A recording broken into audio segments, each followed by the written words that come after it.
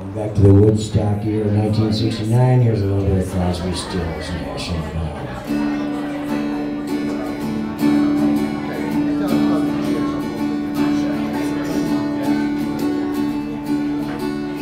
You who are on the road must have a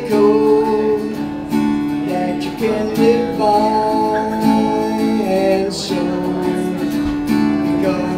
become because the past is just a goodbye.